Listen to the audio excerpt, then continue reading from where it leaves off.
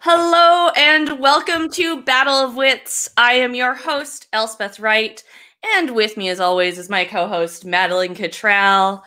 We hope you are doing well. We have a very exciting episode for you today. Uh, from the Half a Star podcast, we have Justin Shaw. Hi. Hello, Justin. How are you? I'm doing well. Uh, it is far too late to be sipping a coffee, but we're from the East Coast. We'll drink coffee at any hour of the day. I remember exactly. I once hung out. I hung out with my parents at a Tim Hortons at 10 p.m. one time. That's how we roll. Double a- double. What's up?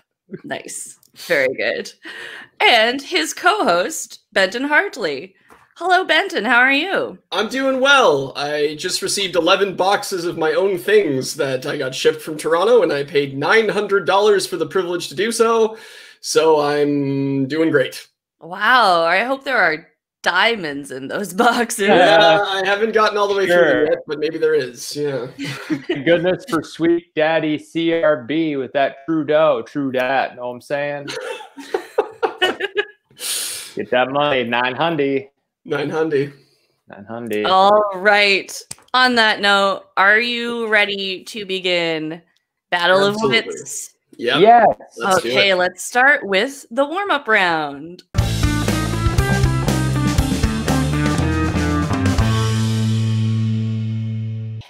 In this round, I will ask you some interesting questions and you will answer to the best of your ability uh, please wait for me to call on you to answer. Um, you know, I like a bit of law and order in my in my game.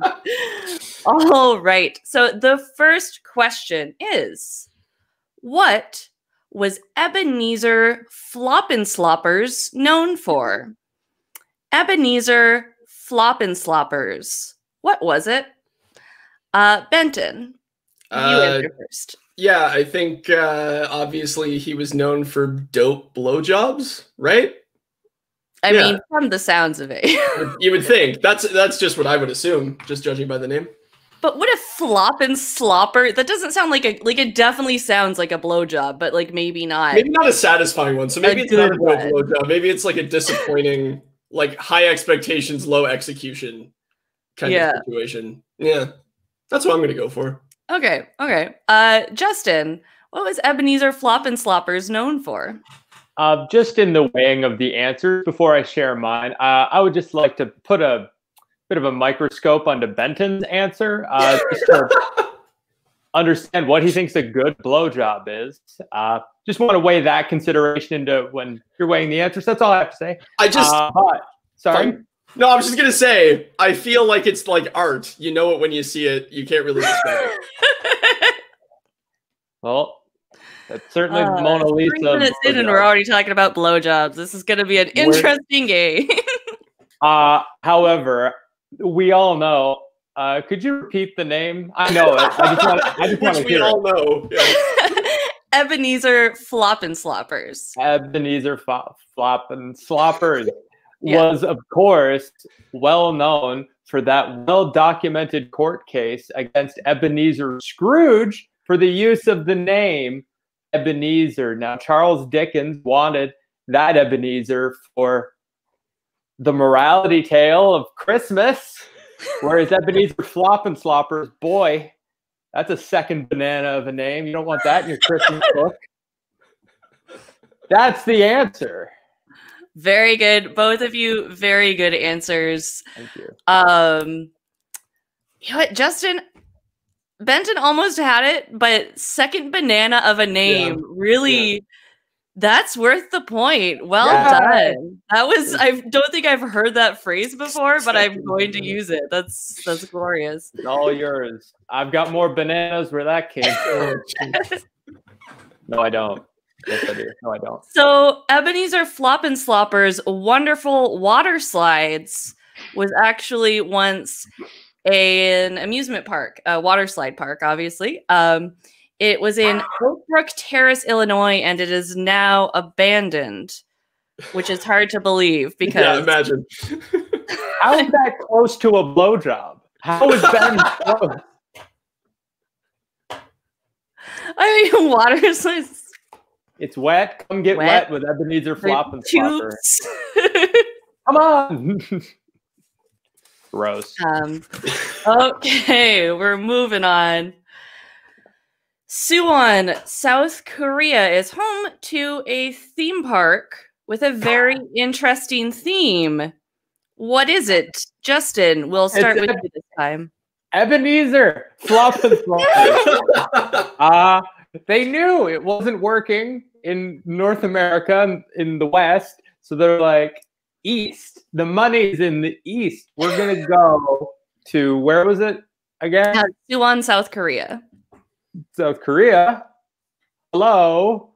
Where the kids love going to the water parks. And uh, I'm pretty sure the translation of Ebenezer Flop and Slopper is uh, way makes way more sense in South Korea. You know how it is when you translate something from Mm-hmm. another language into English. It's like, whoa, that sounds wacky.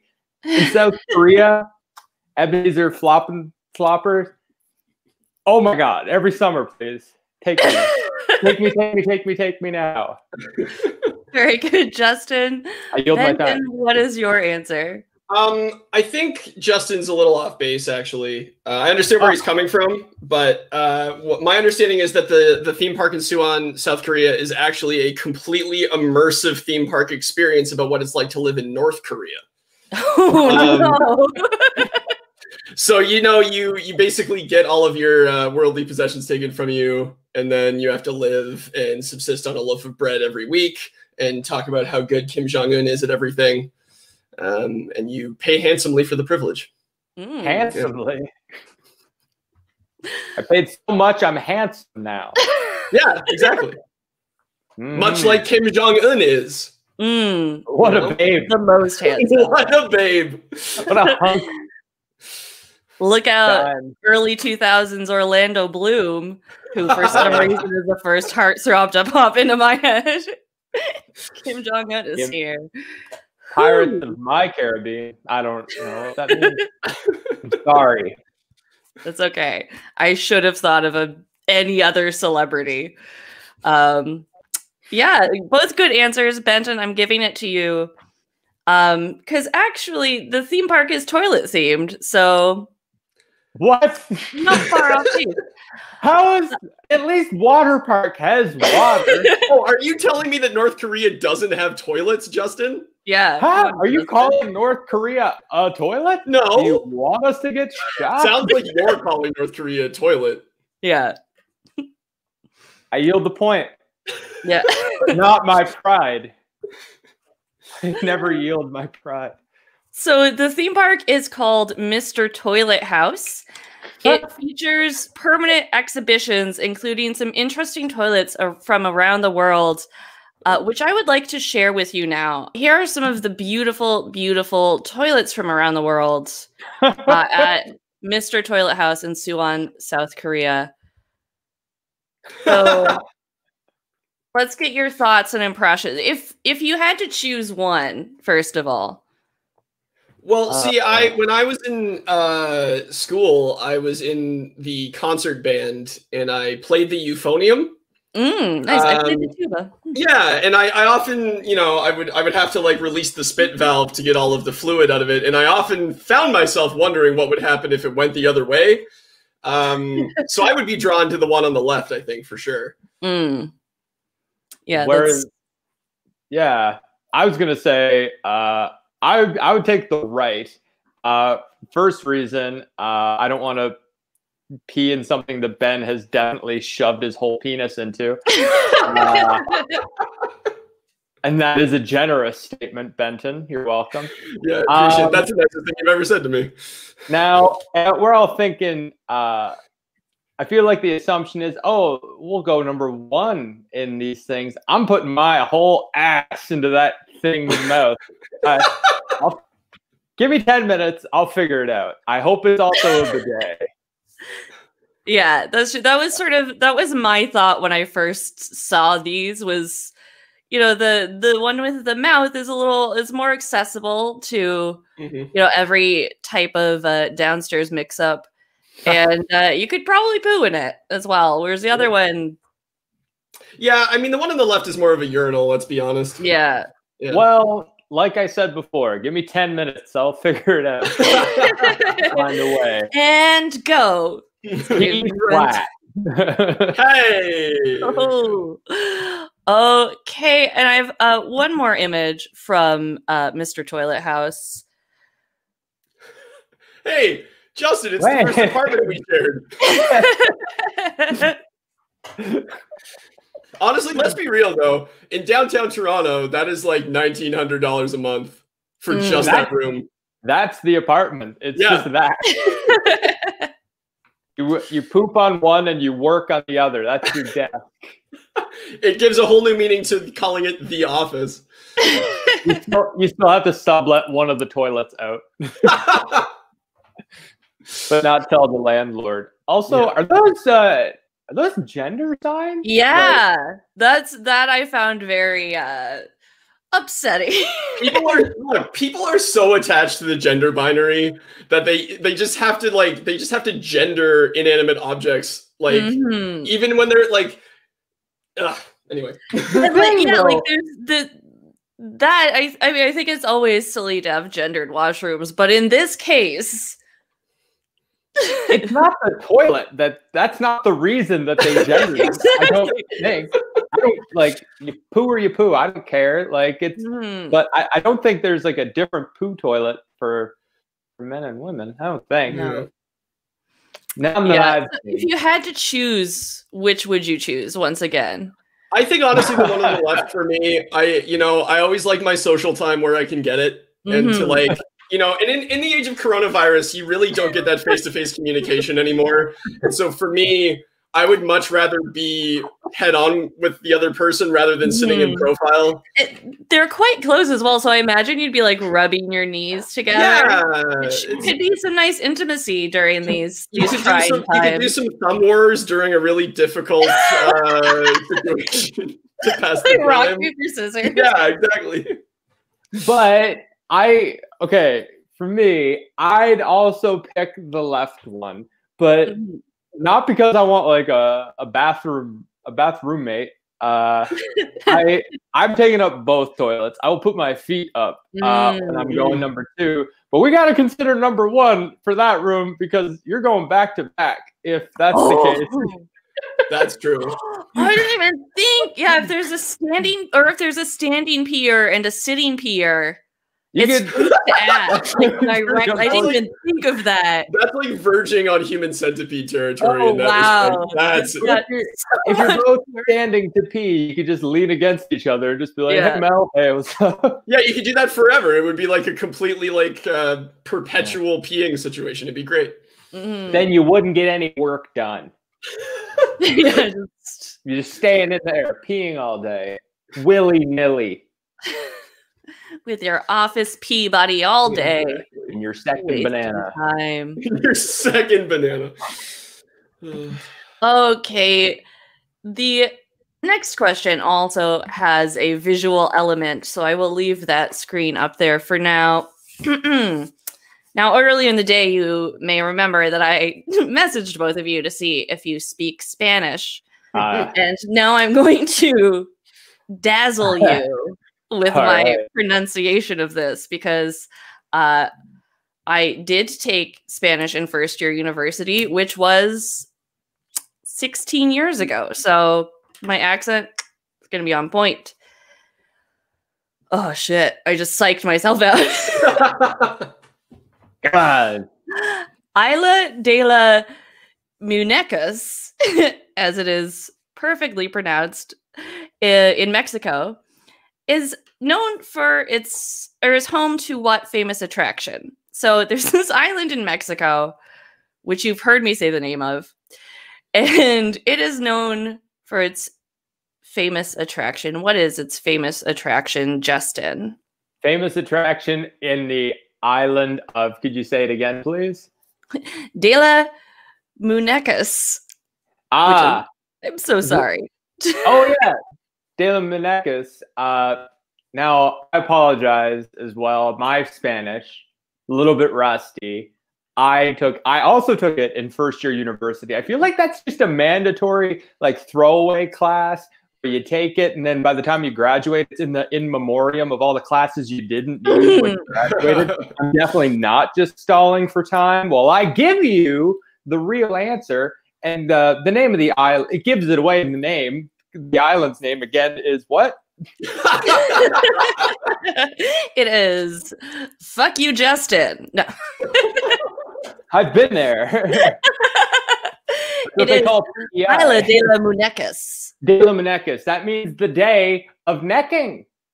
Uh, where okay, let me explain. Necking, if you've never tried it, give it a go. Necking is uh where you like make out, and that's like an old timey word for making out. And the attraction on the island of the day of necking is once every solstice they come together the people and they neck. And it's free. It's beautiful. You've heard of the purge where they like ah, da, da, da, kill each other but necking it's beautiful they do it at like 2 p.m when they should be having a siesta and boy mm. they're tuckered out when they're done so that's my long-winded answer, Your Honor. That was that was wonderful. That was excellent. Uh, Benton, what is your answer? Yeah, um, I've also I've been to this island before. Uh, it's very famous for its uh, gigantic sculpture of the head, neck, and shoulders of a gigantic cow. Mm. but sometime long ago, there was a massive hurricane that actually ripped the skull of the cow off and plunked it into the Atlantic Ocean in the Gulf of Mexico. And so all that's left now is the cow's neck. And so they call it the Isla de los Munecas uh, because it's a, a cow's neck. And that, my friends, was a hasty pun. it was it was appreciated, but um I gotta say, did they did they never have the bottom half of the cow statue? Because that's utterly yeah. ridiculous. Hey, hey, hey, hey, all right. I don't have any cow puns, but viewers slash listeners, where do you want to go? Sweet Sex Island or half a cow island with Ben, where you can be like, "Oh, we found it in the water. Nice." po- if it's a popularity contest, uh, give me the prom king crown. I don't know. Maybe they have cow's ice cream there, and then that's like the whole reason people go to that island. Shut up, PEI. yeah, we're getting rich off this episode. Mm-hmm. yeah. Okay, uh very good answers both of you. So this is what the island is actually known for. It directly translates to Island of the Dolls or Doll Island. Uh, because this island is filled with creepy dolls. Ah. I like this one. He looks like he's having fun. Get it. Kill it. I suppose that's one way of interpreting the look on his face. Get it. So, do you guys want to take a guess as to why this island is filled with creepy dolls? Yes. Yeah. Because Ben, you go. I went first. Yeah, I'll I'll allow you to stall for time again by going. Uh, oh, I'm I'm being a gentleman. I, oh, good. Look at him. Um, He's wearing a blazer like a gentleman. I, all I can think is that it was at some point a horror movie set. That's going to be my guess. Oh, Ben. Oh, simple, simple Ben. It's what we call them back home. The dolls are the the name of the island again? yeah, Doll Island. In Doll England. Island. The people of Doll Island. It was uh, founded by Salvador Dali. they had an infestation. Yes, they did of rats and as we all know, rats are afraid of babies. So they hung dolls to ward off the rats. So my point, as I nearly had a mental breakdown, is it's like a scarecrow for Doll Island. so founded by noted colonial explorer Salvador Dali. Mm-hmm. Yeah. Yes. That was what? Absolutely beautiful, both of you. Uh, Justin, you're getting that point. Absolutely. Um, well done, though. Because I'm right. So, Look it up on Wikipedia. Legend. Uh, according to legend, the dolls are there uh, because they are possessed by the spirit of a young girl who drowned under mysterious circumstances. So it's just as whimsical and fun as both of your answers. Uh, even more God. chilling than I could have possibly hoped for. Ghost babies. As if these needed to be creepier. Mm-hmm. I mean, it kind of it, it's like Ben's half cow thing. Like that's still kind of weird. Pretty creepy. That was creepy. I just want to bring love. 2, 2 p.m. every solstice. What? Fight me. All right, I've got one more question in this round for you. what is High Point, North Carolina known for? Benton. Mm. What is High Point, North Carolina known for? Okay, so uh, every New Year's Eve, the citizens of High Point, North Carolina, get absolutely blitzed out of their tree on like the dankest possible kush imaginable. And then they go and they stand on the top of a hill and they just look up and point. And then they just wait there until everyone in town looks up to see what they're pointing at. And once everyone in town has looked up, then they release some doves and usher in the new year. oh, nice. Yeah. They release Doves and Usher, like the singer Usher. Yeah, yeah. So they release doves, and then Usher comes out and performs his classic hit, Yeah. Mm. Uh, unfortunately, Lil Jon hasn't been able to make it the last few years, but Usher and Ludacris make it every year. So it's beautiful. That's lovely. That's Yeah. lovely. Justin, what is High Point, North Carolina known for? I'm sorry. I just need to wash the hooey out of my ear. ben, you so and so. I am known for my hooey. North Carolina, as we all know, is home to the 16 time world heavyweight champion, Ric Flair. Hello. And at High Point was the town where he was conceived, believe it or not.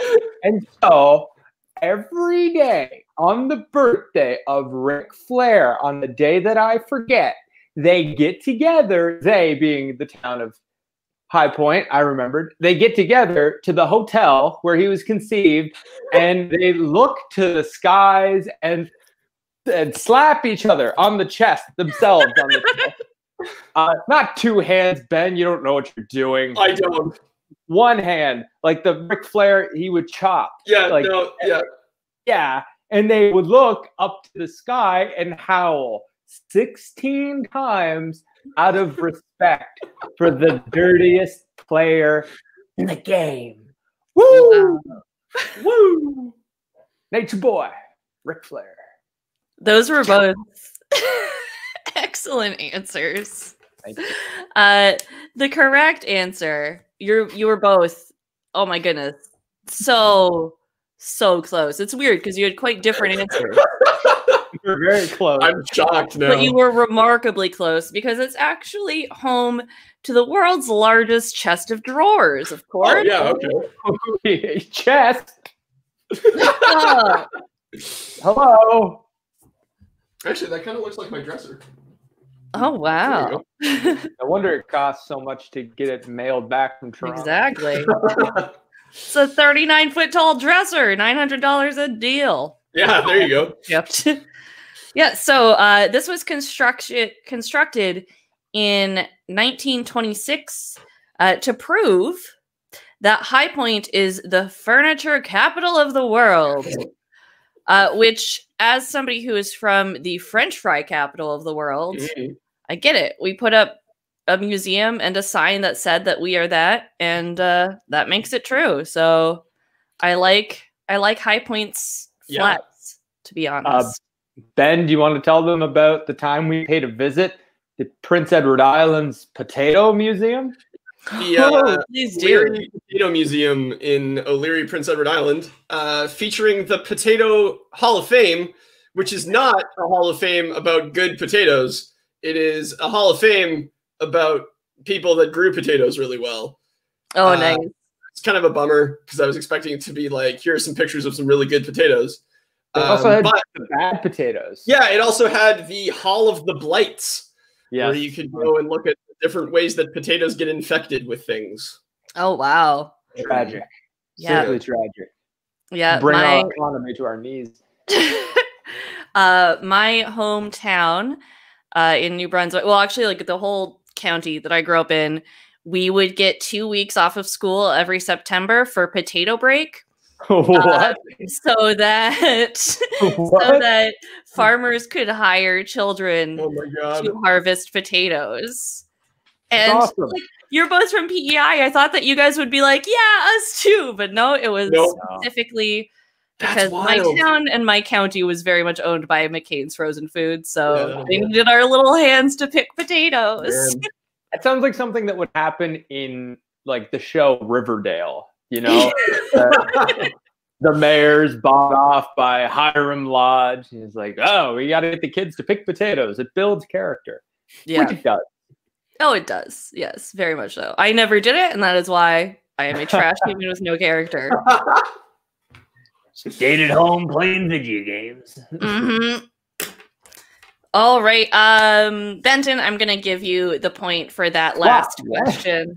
what? Just, you know, keep things interesting What do you mean? What? I because it was a wonderful answer. yeah, You took very oh. literally, you know. yeah. I don't know.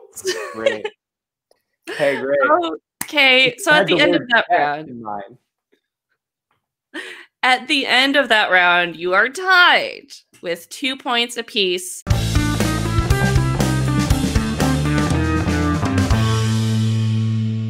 All right, now it is time for the What Does It Mean round. In this round, I will show Benton and Justin some interesting words, and they will tell me what they think these words mean. Our first word is Ed Manny. Normally, I uh, look up how to pronounce the word beforehand, but I completely forgot how to, to do that today because I haven't recorded in a month. So, Ed, uh, you know what? As part of this round, because there are only two of you, I want you to tell me how you think this word is pronounced, and I'll tell you if you're correct. Okay. Uh, Justin, we'll start with you. Thanks. Uh, I grew up in a, a very religious house, actually, and uh, uh, uh, not a week went by where we didn't hear uh, someone in the house say mention uh, Adam Zanus, Adam, Adam Zanus, which uh, I'll admit I haven't read the whole Bible, just the first few chapters, but in Genesis, when uh, God made Adam, uh, he was like, "Great for now, but you, you're lonely. You need a partner." And this is in the book. Mhm. Uh, so he makes Eve out of Adam's rib, and he's like, "This is disgusting. Oh, what a process this will be."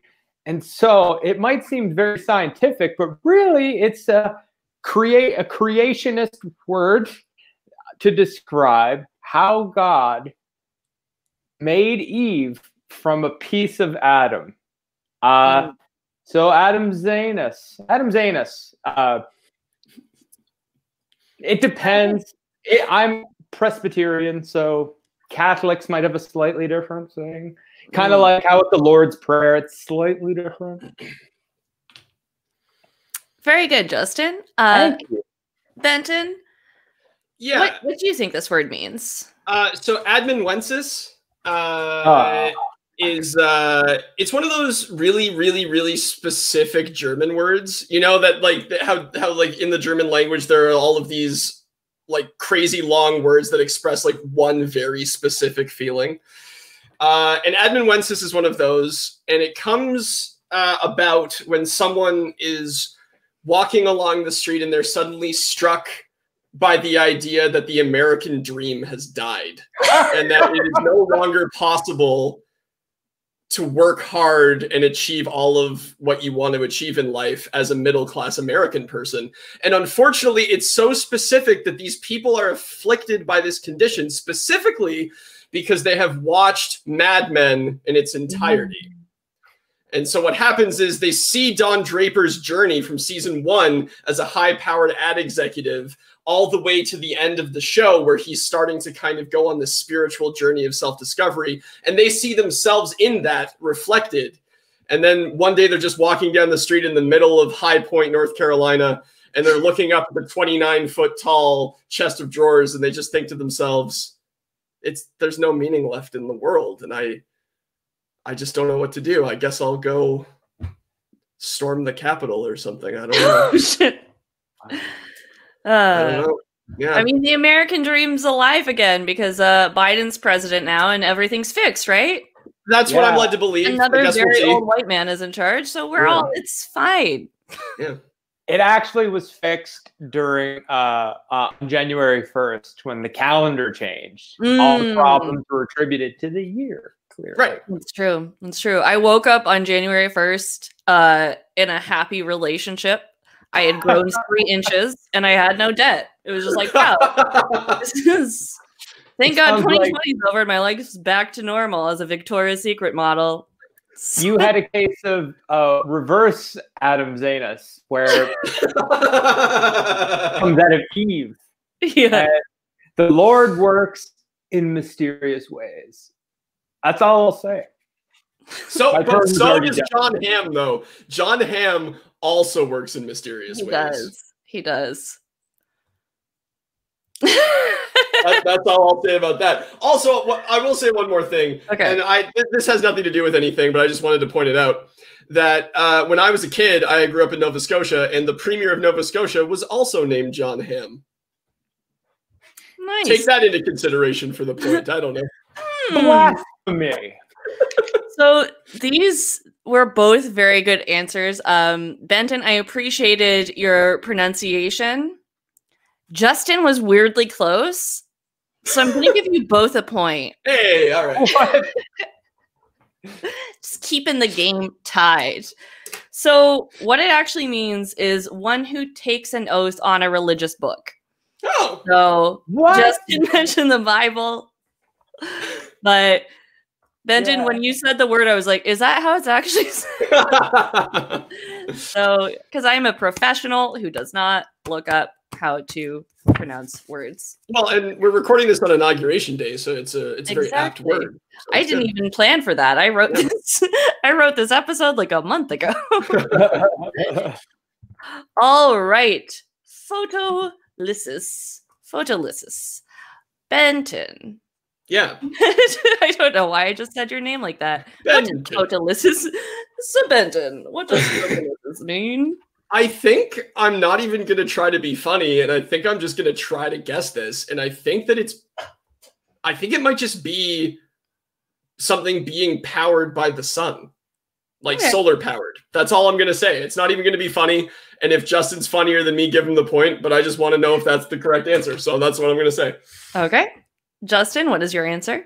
Well, I'm glad Ben is suddenly concerned, aware of he's not being funny. That's uh, great. Uh, I can stop but, uh, giving him pity points now. Thank God. yeah, it's it's actually quite the opposite. It's not powered by the sun. It's uh, it's a form of paralysis that happens when you take too many selfies, or mm. if uh, it was actually first. Um, introduced by Fergie, who back in uh, 2005, I think, whenever uh, her like solo career was taken off, mm-hmm. 2006, give or take. Sorry. Um, photo life. She's all over the media, and she, she would just find herself just like, oh man, I gotta, I gotta sit down, and they're like, we think it's photolysis. Uh, and she's like, hey, say that again. Photolysis, Fergalicious photolysis. As and soon so, as you said Fergie, I knew you were going to do that. And I mean, so, uh, eventually, you know how the writing process is. In the industry, the music industry, things change. It wasn't a marketable word, so they cut it out. Uh, but she was the founder of uh, of the word in the sense that uh, she found it. Photolysis paralysis from uh, too many photos. Very good, very good. Uh, that just triggered a little memory when I was in second year university. I went on a date with this like very handsome like grad student who was like very Ooh. together and very sweet. Yeah, and I was just like, "Oh, I got to impress him."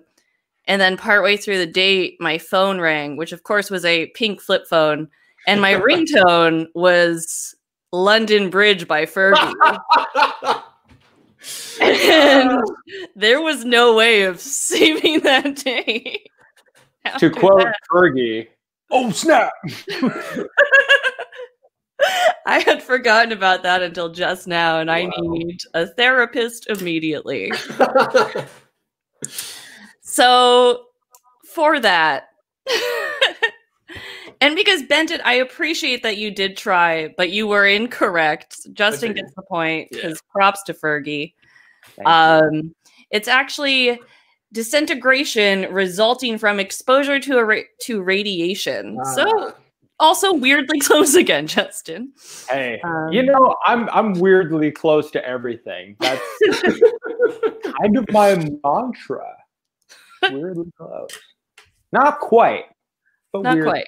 Yeah, that like if you were like a superhero, that would be your superpower. Is just like almost getting things, lighting things almost on fire. Yeah, like, oh, oh, not burning, but yeah, that's like yeah. that's like smoking slightly. Yeah, Ooh, we gotta keep an eye on that. I'm gonna move okay. my towel away from there. We have one final word in this round. It is letting Ignus. Litigignus? I don't know. Justin, tell me how to say this word and tell me what it means. Antigones. That's the classic Italian comedy. Antigones. Um, this was uh, we all are familiar with the Greek tragedy of Antigone, uh, the follow uh, the fallout of hmm, Oedipus, the death of Oedipus. So you have Antigone, who's like his niece, um, and then uh, what was I saying? Oh yeah, Italy. They decided this play is boring, so boring. We need some laughs. So they put on some masks, like those big, broad, like featured mm. masks, do really broad gestures. Back when like comedy in Italy was, "Wang wang, got your nose," and it's like, ah, genius. Ah, poop everywhere. I don't know. Like they just make really cheap and crass jokes.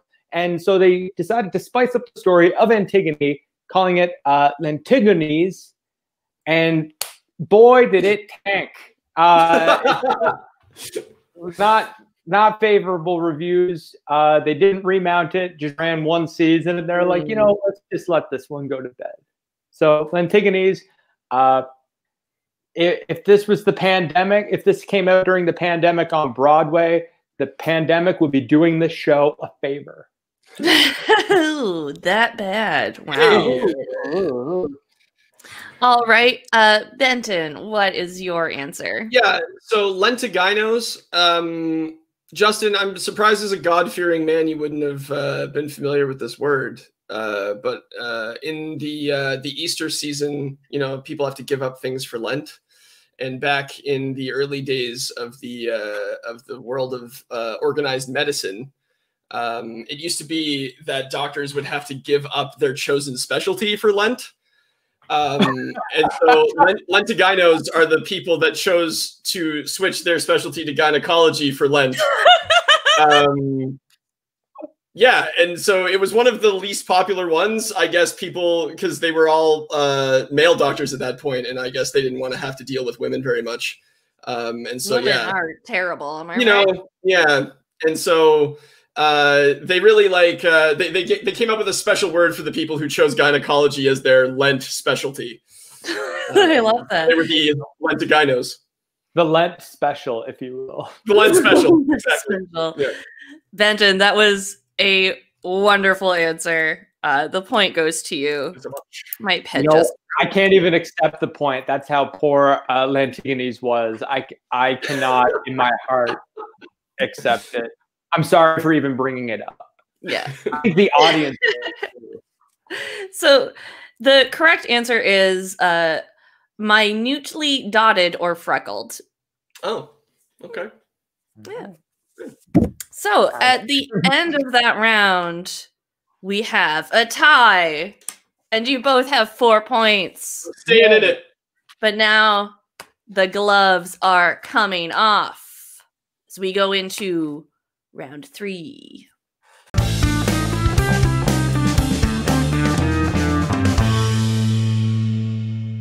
All right, now it is time for the two truths and one lie round.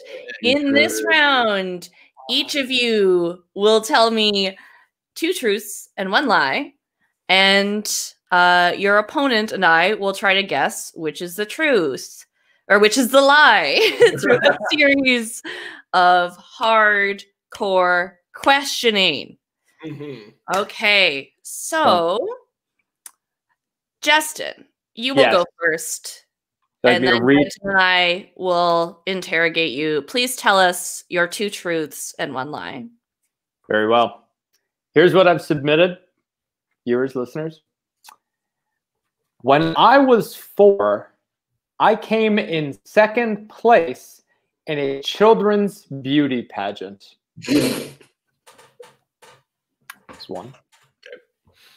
When I was 15, I was supposed to go to a PEI version of The Price is Right, but we ended up not going because my mom got sick. Oh, Number two. Number three, the last one. I lost my virginity six months after my first kiss. okay. Very good. Now, uh, for the viewers at home, um, you two are are quite quite close friends, so this was Mhm. very difficult for you. Um, so Benton, did any of those sound familiar? Any of those stories? Yeah, the Price is Right thing I could have sworn you've told me about before, but I'm not confident enough to immediately take it out of the running. Okay. Um, and I think I know your relationship history well enough that the third one could be true, unless you did, unless you're counting like some kiss you had in kindergarten or something as your first kiss. That's something I'm not confident about either. Now I, I have I a know people who've done that. Like I like that one's not wild. We've all been married in kindergarten, except for Ben, who was the minister. I was. I was the minister at a kindergarten wedding. All right. See, we do know each other really well. Oh, okay. Justin, I have a question. Certainly. Um, like, tell me more about this beauty pageant. Like, wh- where was it? Who sponsored it? What was the prize? It was pretty low key. It was at my kindergarten, uh, if memory serves. All I remember from this event was uh, I didn't choose to sign up. My parents were like, "Get it, get it, and work it, kid." And I'm like, "Okay." Uh, I do remember, like people, like I remember people kind of just staring at me while I was standing there, and I think there were three judges sitting at a table, just kind of like smiling and looking. Um, and I was wearing a Flintstones. Uh, it was a T-shirt or like a long sleeve, but it had Fred Flintstone saying "Yabba Dabba Doo" on the shirt. But I don't remember this. But my sister or my mom told me it after the fact. I lost to a little girl who winked at the judges. Mm, Mm. And that'll, that'll if, if that ain't life, if that ain't a and her for name was JonBenét Ramsey. and she Um, went missing. it was just it was Justin. We solved the case. ah, you got me. To figure out questions I want to ask you about the third one while still remaining respectful to the people involved. yeah, yeah. Were they with the same person? I guess will be my question to you. Mm. No. Okay, so you wow. So you kissed and then you were like, yeah, oh, I, I'm a guess. player I now. didn't I didn't even think of that. That's uh Yeah. That makes me look like a real piece of shit. Thanks. Be bad on my own. Okay. How okay. old were you? Did you say 17. 70? Okay. Okay. Uh, what was the name of the Prince Edward Island Price is Right? Just PEI's Price is Right. Or it Oh. might have been Montague's Price is Right. They had it at the Cavendish. Okay, they call it the Cavendish uh, Wellness Center or Sports Center. They opened it uh, a few years. Oh, what year was it? 2003. They opened it. I'm trying to remember because I was taking swimming lessons at the building next door. And then I found out they had better facilities there. And I'm like, well, now I'm too old for this shit. They confused a lot of people calling it the Cavendish Wellness Center. hmm It's not in Cavendish, but it's named after like Cavendish fries. But they used to do like events there too. They- so they had like the gym facility upstairs. Ben and I actually did a play. We did a show there. Yeah. Oh, Did. And I don't know if it was in that same hall or in like uh, they've got like another big space. That I didn't get to see it because that couldn't go. My mom got sick. I don't know if she actually was sick or if she was just like mom sick, is like bullshit. but Mom sick. Just on her pills again. get But then I saw, I, I ended up seeing like photos from it uh, after, and I was like, oh, that's like not nearly as cool as like on TV. It was just like a very like, you win like dinner at Yeah. Greco or something. Like, oh, Yeah, yeah. great. Oh, Greco. oh, God. Yeah. I haven't 310, felt homesick in so long. no. Yeah, it was kind of Uh, a. I don't know. I don't remember when the building, when it opened. That I don't know. I just know I. My So, Okay. biggest but you're you were like in high school or something when this event happened or something? fifteen. Yeah, it was grade ten. So Yeah. Okay. Okay. God, I don't know. This is tough because they could they're also plausible. hmm You can ask uh, one or two more questions, and then I'm gonna Yeah. give you a guess. Okay. Uh, were your parents proud of you for the beauty pageant? I I think dad wasn't. I couldn't have. he definitely wasn't there. Uh, he given I have two older sisters and my mom. They were the only ones who like would care to go to that kind of stuff. My dad doesn't even like coming to my plays or my comedy shows. He's just like, do we have to? But this was a story I've heard from my mom and my sister on more than one occasion from both of them each with like different little details and each time i hear a new detail from them like a new door opens of my memory brain and i'm like oh okay this was in cardigan uh ha- it was some weird name of the kindergarten run by isabel myers name drop i think she's still alive what up, Izzy? How's it going? is he? Um, I remember there. I think it was in the carpeted section. Uh, at- where we had You're nap- giving a lot of superfluous details. There's there's a child beauty pageant going on, and you're telling me about the carpet. Come on, I want to and know. wanted to know about sponsors. I'm like, I Yeah. was four. Did you have like a talent or anything that you did, or I just remember wearing the Flintstone shirt, standing there. I think it was really just like a walkout, trot out. that's kinda so deal. much worse. That's Yeah. so much Yeah. creepier than if you like had if they're just sort of like, mm, which kid's the cute? That's I I don't like that. I don't know if uh, to be proud or lot worse. embarrassed of it, but like to I be think- in it. but not Be a even it. therapist. I'd yeah. I think I'm I think I'm ready to make a call. All right, Sure. Benton, what is your guess? I'm gonna go with the first kiss losing the virginity thing. Okay. Yeah. I think I kind of want to guess the price is right, right one. So I'm going to guess that. My guess doesn't count, but I'm still guessing. Justin, what is the lie? The lie. We ain't got no tickets to prices, right? What? What? I could have sworn you told me that story though. Maybe you just told me that it happened. It did happen. That was an event that, like, I don't know, like, might have happened, and it might have been at that location. I think it was Uh, at the Eastlake Center though. I think it was at the Civic Center.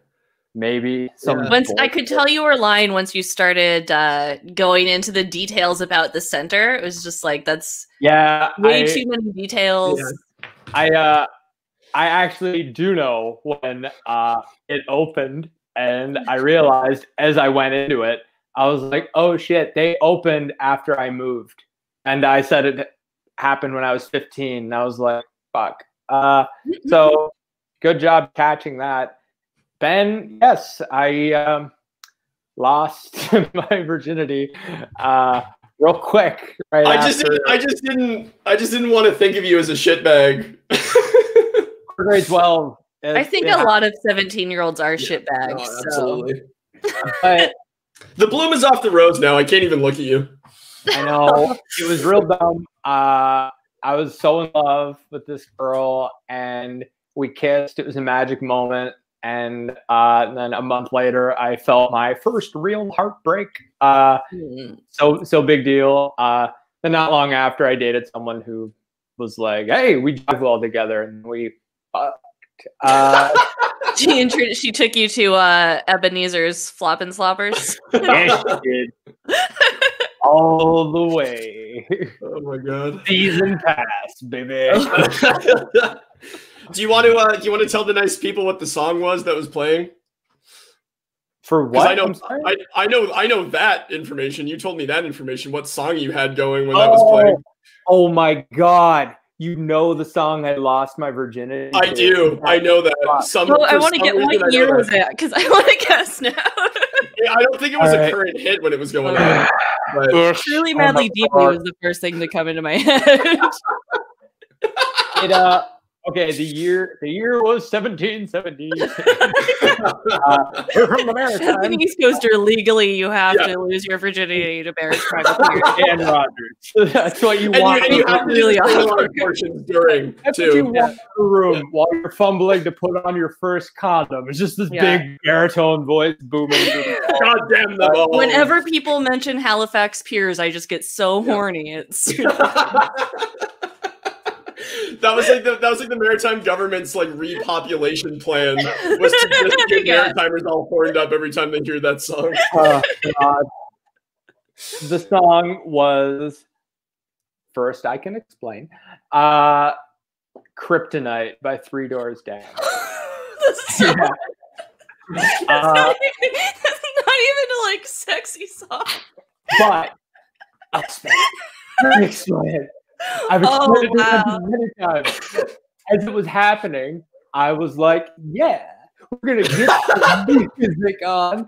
Uh, so I went to my iTunes uh, and I had music downloaded. Like you had to have it back in my day. Uh, and so I go to the search thing and I'm like, I'm gonna lose my virginity to Jim Morrison, like on TV. Uh, so I typed in doors and I burned through I burned through the Doors' greatest hits. And this is my first time. I was clumsy trying to figure it all out. Took me a little while, but by the time it was happening, uh, the next song on the queue was another song with another band with the name Doors. Oh, Three Doors Down, Kryptonite, which incidentally was the same band that inaugurated Donald Trump. Mhm. Now, it used to be when I heard that song, I thought about the one girl I disappointed that night. Now I get to think of all the women around the world that have been just like a real douchebag. The war's There out there. go. Don't make me the bad guy. That's wow. That's a truly, truly beautiful story, Justin. Uh, thank you for sharing that with us. Very brave. Um, so, uh, because Benton did not guess correctly, you get one point. Uh, and Benton, now it is time for your uh, All two truths and one lie. Let me find my document here. Here it is. Okay. all right. So, uh, most of all of these are from my childhood uh, before I met Justin. So hopefully that throws a wrench into the works. But number What one, once I sat through the entirety of Jurassic Park as a kid, uh, even though I was terrified of that kind of movie, because my friend's dad convinced me it was a parody of Jurassic Park called Jurassic Pork. Uh, number two was uh, I was the champion of a series of rap battles within my group of friends when I was in elementary school, and my rap name was Master B. and number three, I once almost got hit in the head by a throw to first base while I was running to first base during a baseball game. I saw it coming at me and I dodged around uh, the ball to not get hit. And in doing so, I was tagged out. And I became so embarrassed that I sat in the dugout and cried. nice. Yep. Very good. All right. All right. Justin, what is your first question? I feel like I feel like I'm in, having the same reaction. Uh, the third one, I feel like I have heard, and I'm like pretty sure that's happened. I don't want to shelf it just yet. The first one was I know Ben doesn't like horror movies. I know it's. Could you repeat the wording of the first one? Yeah. I'm going to be that dick. uh, I once sat through Jurassic Park as a kid, even though I was terrified of that kind of movie, because mm-hmm. my friend's dad convinced me that it was a parody of Jurassic Park called Jurassic Pork. How old were you? Oh, geez. I was probably like seven or eight. Actually, yeah, I could have been seven or eight. I could have also been like 11 or 12 and like probably old enough to be okay with that kind of movie, but I was still a chicken shit. So, mm-hmm. like, yeah, I feel like they did it in order to get me to watch it because they knew that if I like let myself go with it, I would probably like it. But I was just like yeah. too scared the whole time. Who so this was on this was on VH right. or like at home and not in. Yeah, it was in my it was in my friend's basement. Uh, it was my friend Marcel. Uh, and his dad watched it with us, and his dad was always kind of like winding me up. He was a bit uh, he was a bit um, not psychotic necessarily, but like definitely like this was before the Saw movies came out. But in my mind, he is Jigsaw to me where like he would just like really play into my anxieties and he would like make me do things that I didn't want to do in order to like fight my anxieties. And so this was one of those things. And I remember like sitting and watching this movie like 75 minutes into the movie and being like, there have not been any pigs in this movie yet. and he's like, they're coming, they're coming. And uh yeah. All right. So is that what was the other? Yeah, what was the second one? Oh yeah, your uh your rap battles. My rap battles. Yeah. Rap Tell battles. us, expand on that. So, how often would your friends and you have rap battles? Yeah, so we would um we would have like oh geez probably like twice a month i think we would have like free time where we could like catch up on homework or something and i was always like a pretty nerdy kid and so I would always have my homework done in advance because I sucked at being a kid, I guess. And then once my friends would finish, we would like go off in the corner and like read rap lyrics that we got off the internet to each other and like try to be cool. And then yeah. like we would like have our friends that were like done their homework like vote on who won the rap battle. Oh, wow. And then like near the end of the year we had like a tournament and uh and I won. So, so were you like actually coming up with the words, or you were just like it was sort of like no, it was like it was like, like we just like literally printed off rap songs off the internet and just like read them, and then for so, some way they just like voted who was the best at doing it. And I guess because I was like already kind of new in grade six that I kind of wanted to be an actor, I was like putting some dramatic flair on it or something. Okay. Uh, what?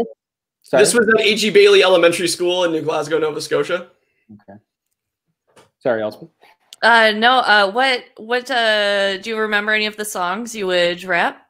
Yeah. Um, I remember uh, really, really, really being into Eminem at the time, and so I think the song that I won with was "Cleaning Out My Closet" from the oh, Eminem show. It was like some dark shit. Yeah, but I was like, I was like big into Eminem at the time because again, I went over to Marcel's house and he had all of this like explicit music that I wasn't allowed to listen to. And like, like 11 or 12 year old me, I was like going over there and it was like, you know, it's like when you find like a porno mag when you're a kid, you're like, oh my God, but like this was rap music, I guess. I don't know. But it was like salacious and wrong. And I knew my mom would hate it if I found it. So I'm so torn uh, between the first two, Elspeth. Um, Yeah. What do you think? What do you think? I just I keep getting so wrapped up in the stories that I'm forgetting what the other ones are. So there's Jurassic Pork, Rat Battle. I just have a hard time. My biggest hang up with the second one is that a group of kids would name Ben Master B. Oh no, no, they did not. I named myself that Yeah. completely innocently. That one's very believable to me because I Yeah. also remember the Eminem phase and like when Yeah. uh, when Eight Mile came out, I used to always my friends and I would all like rap it on the school bus, which I'm so glad we didn't have smartphones back then because if I ever saw footage of that, I would just have to walk into the ocean. Yeah. Like just thinking about it is so cringy. I'm pretty sure that this came out like that. I, we were doing these rap battles before Eight Mile came out. But if Mm. Lose Yourself had been in the public consciousness when I was doing that, I would have taken no prisoners, man. Oh, I mean that song's a banger. It's so good. The timeline checks out. Mhm. That that's right. Ben and I are the same age. We're both 91, 1991 kids, and that album came out around grade five, grade six is when Mm-hmm. popping. Um, sidebar: When I was in school, there's this kid who always gave his tape player tape to the bus driver, and it was a Pop Roach tape. Uh, so every morning, every morning for like a little while, uh, a group of like children aged six to 18 would scream out, Cut my life right from two precepts. This is my last resort. Um, They just God. I will Um, say just to uh, shortchange myself of any clout I might have gained by being an Eminem fan. Uh, my second favorite musical act at the time was Good Charlotte. So like, let's just put that out there. Cool. Um, yeah. Yeah, the dark times, dark times. Want to ask me any all of us. questions about the baseball thing, or Yeah, you- baseball. That was the third one. Um, yeah. So you almost got hit and then didn't. Yeah, so uh, I'm very famous for my love of baseball. Hmm. Um, and this was probably the moment I decided I could never play it. Uh, because it really, like, I have always been scared of the ball in my entire life. Like, and I don't know even how I got into this, but I was in a Kinsman Ball League for like grade eight and grade nine uh, kids. And I was on the blue team, and we were playing in the championship game against the gray team. And I remember like hitting the ball and it's sort of squibbling out towards the pitcher. And then the pitcher like threw it to first base. And I was like running down the line and I remember like looking over my shoulder and seeing the ball coming to like hit me in the head. And so like if this was the base, wait, wait, wait. If this was the base, I like was coming this way and then I like ran around the base. And then the kid like tagged me and he's like, dude, you're out. And I was like, no. And then all of my teammates were like laughing at me in the dugout. So I literally like sat there for like half an inning and just like bawled my eyes out. see that I can see myself doing that when I was that age. Like I can Mm. Yeah. very much as a a bit of an indoor kid. I Yeah. could definitely see just like why am I not like at home reading Harry Potter right now? Yeah. Why am I doing this? Yeah. My glasses. I will say I I'm pretty certain I've heard that story before. I'm like the it's not my first time conjuring the image of Ben running around a base. not not the first time. My I I think my contender is between the first and the second one. Yeah. Um I'm gonna pick the first one. so I think the that's Jurassic Pork. yeah. Yeah, that's that's what I think as well. Uh Benton, Cool. what is the lie? Uh, well, so the baseball one is true.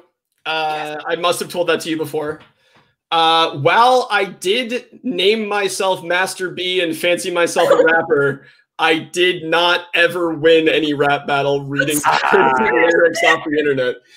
Um, yeah, the the Jurassic Pork thing, to my eternal shame, is absolutely true, and I didn't pick up on it until the credits rolled, and I was like, "Wait a minute, there were no pigs in that movie." and Stephen Buck, the the father in the scenario, was like, "Gotcha," and I was like, "No." That's Wow. terrific. and that's why I have trust issues. I'll keep that in mind if we ever want to have a, a view party of it. Uh, it's called shit. All right. Excellent job, both of you. Uh, wonderful tales. Very well told. Um, and you're still tied because you just fooled each other. So with that, we have two rounds left. The score is five to five. And now it is time for the how much round.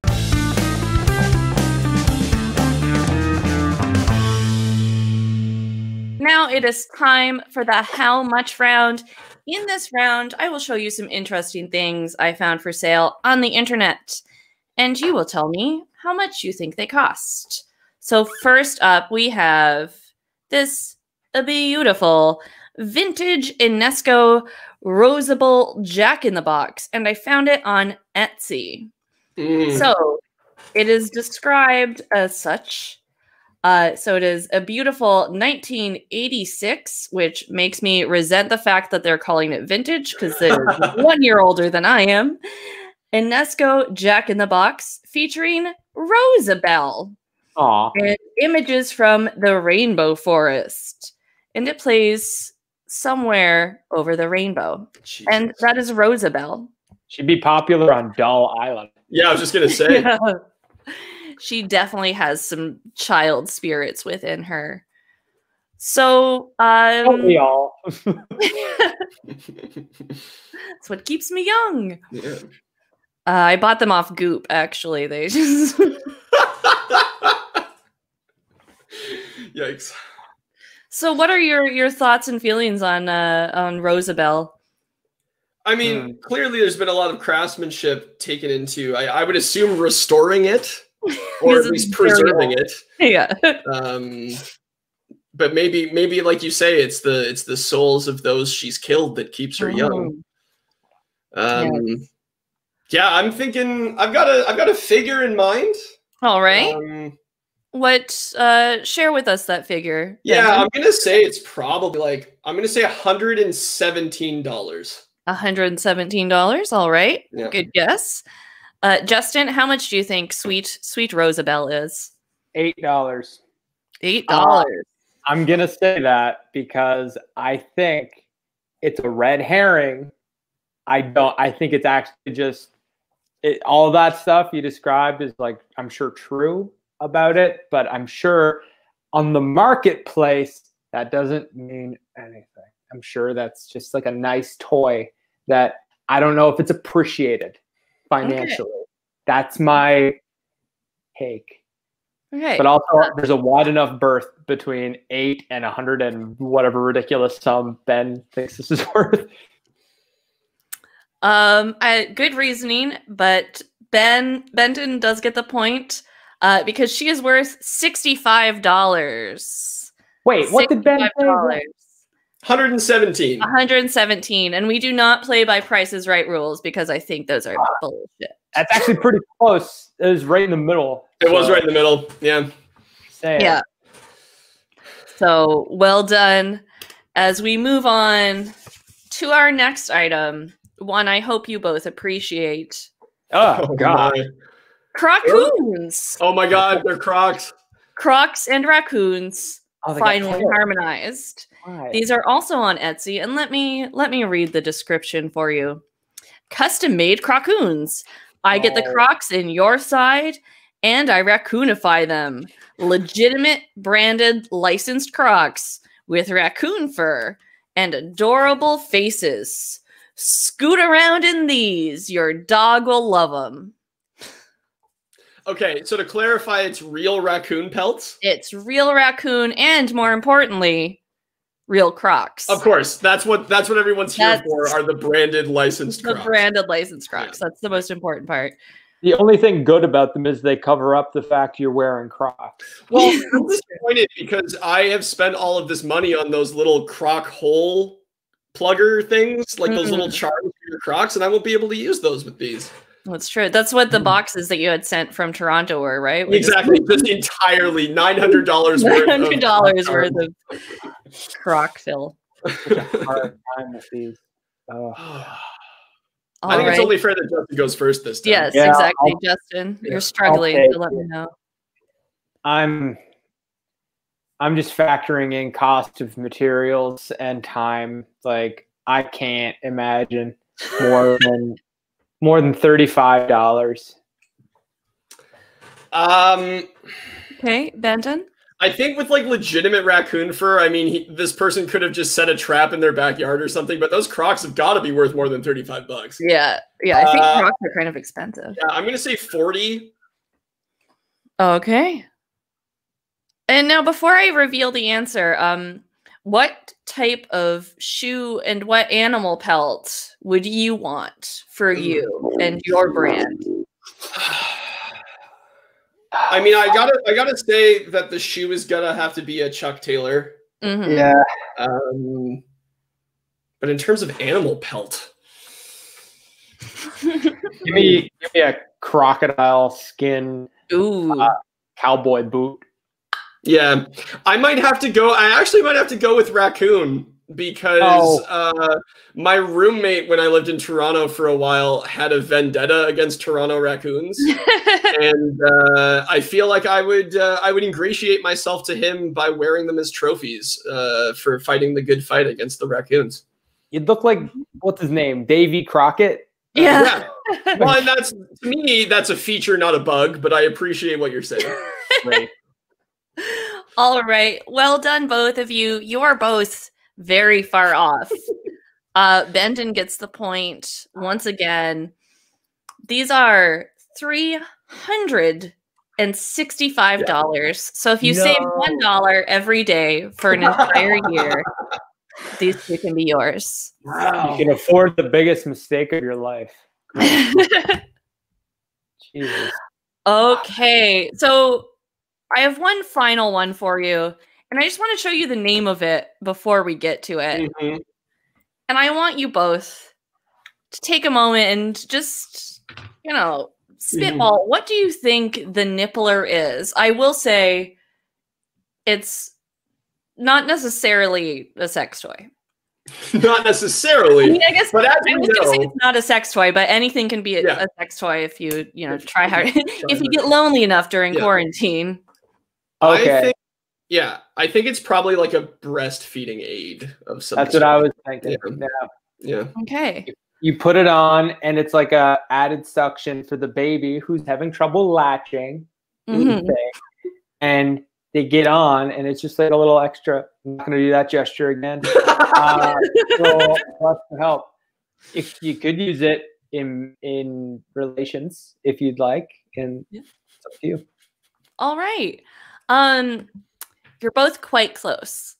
I'll show you now. The nippler. Oh, You were you were quite close, you know. Um, what? so That's- this is why, why does it have green hands? Why is the top half of it shaved? Why is it look through uh, its features. Oh my god. You can bend its arms, which I think is a very good feature. Oh, they're the nipples. Yeah. The famous nipples. So is it? It's a koala. Uh, it's it's the nippler. Yeah. Okay. Fair. Why does it look like it's wearing gloves to clean the house? Because it's a fancy boy. yeah. It's showing good public health uh, measures by Mm, yeah, yeah. gloves out in public. following it's following protocols. Yeah. So this is from a website called worldaroundyou.com and you is spelled the sheep way, not the Ah, yes. way. Okay. Um, so it is made of three pairs of nipples, mink legs, uh, and pieces of troy and pieces of toys. hmm Truly something for everyone. the nippler. Get it for your grandma, get it for your nephew. Give it to your neighbor. Mink is nippler. expensive though. I don't want to know how much. God, fuck. Uh, Does it does it have a function or is it just like a toy? It's it's art, I guess. Okay, okay. okay. Um, Um, I'll go first. I think that's fair. Okay. Um, I'll say seventy-five dollars. Seventy-five dollars. All right. Okay. I'm going to say it's a lot because only someone with a lot of disposable income Mm. want to put money into something this preposterous. I mean, you wouldn't look at look at those feet, but mean, I just don't see this as like a thing that people are like, oh yeah, I got it on sale. Like, you know, like I, d- I don't think price was the deterrent on possessing a thing like this. It's not like, oh, well, you know, I wasn't gonna, but then I saw it was marked down. uh, I'm gonna say um two hundred and eighty dollars. Wow. Okay, of offer. that, that's your offer. That's we're gonna talk about I, both very good guesses. Uh, you're both pretty far off, but Benton, congratulations, you swept this category. No, Well done, sir. Justin, Uh, you, you should have gone to that PEI Price is Right, man. should have. I, I would have done great. Clearly. the nippler can be yours for the extraordinary price of one hundred and twenty-eight dollars and ninety cents. Jeez. Why? So there you have it. Well done on that round. At the end of that round, Justin has five points and Benton has pulled up. He didn't come to make friends because you two are already friends. I just came to lose them. What's up? I used to work at a pawn shop. This is hilarious. and I'm sure most pawn shops have plenty of nipplers. Someone came in with a, uh, a collection of authentic, like replicas of Mister Rogers puppets. And oh, those puppets were so creepy. Yeah, I'm not. not boy, you about don't that. want to see Daniel Striped Tiger in person. That's not a good time.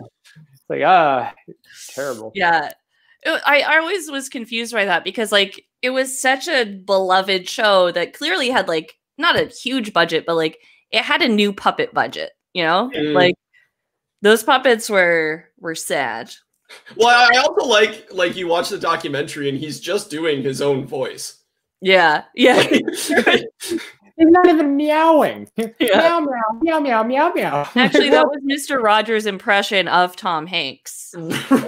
That's his Daniel Strayman Tiger voice. was just His impression of Tom Hanks. he saw like he saw bosom buddies and was like, "I'm gonna do that." Mhm, Yeah. That guy. That's it.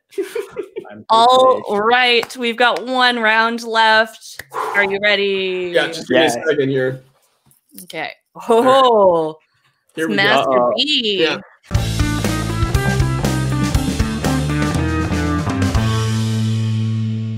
Okay, it has been a tremendous game with Pleasure. Justin Shaw and Benton Hartley. And now it is time for our final round, the most nerve wracking and noisy round of the game. It is time for the lightning round. In this round, I will ask you rapid fire questions, and you will answer them as quickly as you can.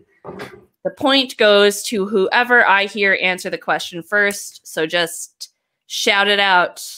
Are you ready for the Mhm. Yes. lightning round? Yes. Yes. Hmm. All right. E equals MC. Square. Squared. Where is the Eiffel Tower? Paris. Name the four seasons. Spring. Fall. Fall. Winter. Spring. Summer. Summer. Winter. Uh, what is the third planet from the sun? Earth. Uh, which colors make green? Yellow and Blue. green. Yellow and green. What animal is on the loonie? Loon. The moon. The beaver is the national emblem of which country? Canada. Canada. Uh, what year did Montreal host the Olympics? 1973. 72. 76. 34. How many days are in June? 30. 31. Uh, what is entomology the study of? Bugs. Fuck you. Uh, what year is it? 2021. 2021. What noise does a bird make? Caca. Wow. Well done. That was that was beautifully done.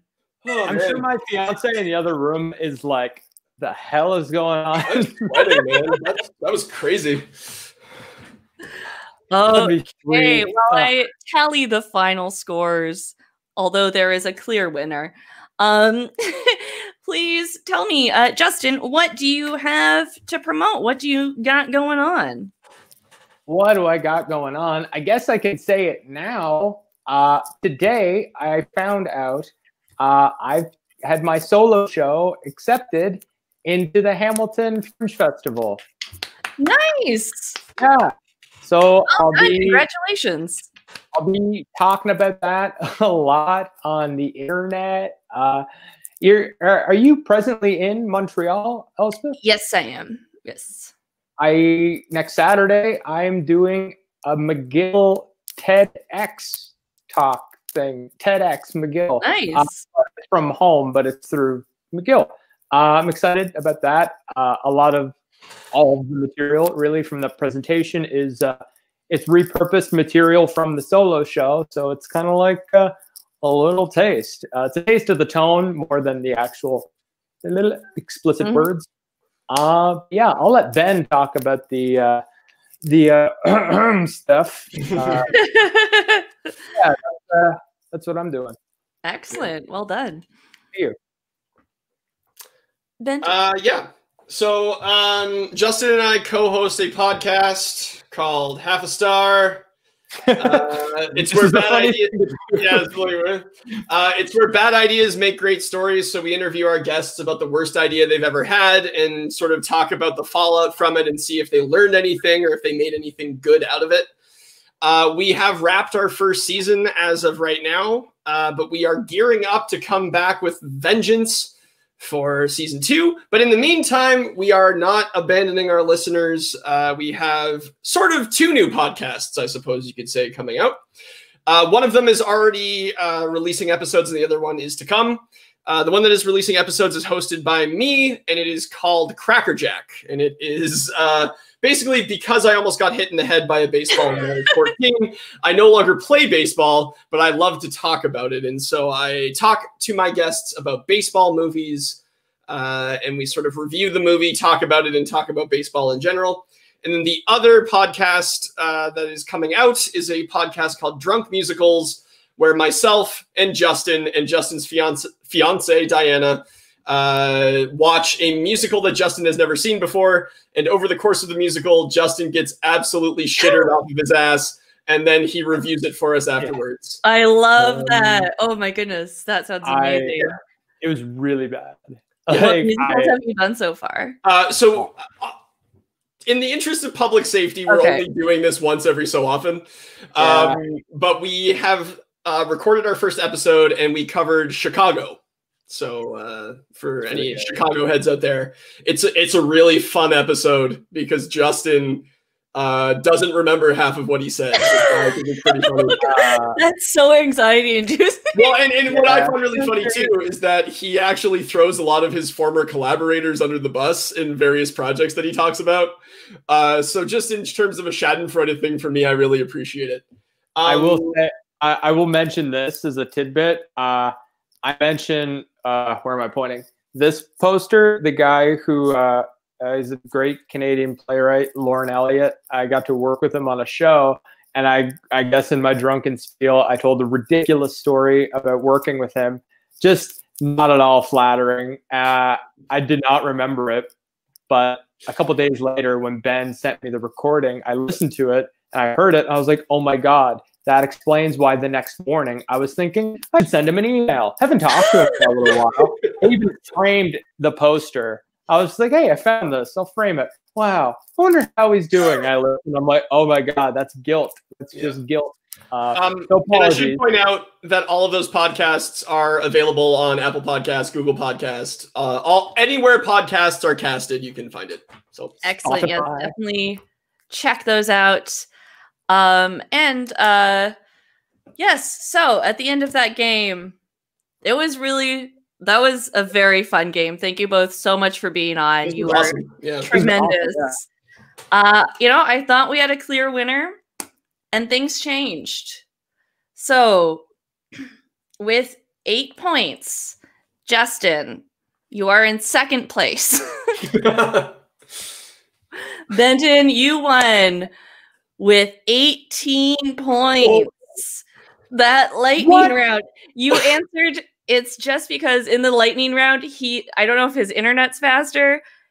I was watching your faces and he answered like two seconds before you on most of the questions. Let's I definitely, I'd definitely, I'll take the loss at the hit of my internet, which I currently share with a hair salon. That's, uh, that's pretty the rough. lightning round is always very contentious because, yeah. Whew.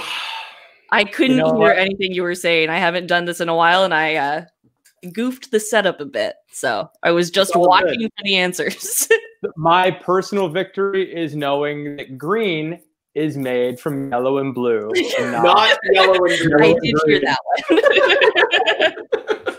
Just because you're fast doesn't mean you're right. exactly. Yeah. Uh, I, Um, I accept defeat graciously. Well done. Uh, thank you so much for being on. Thank you, everyone at home, for watching. Please like and subscribe and share. And we'll be back with a new episode soon. Have a good night. Bye. Bye.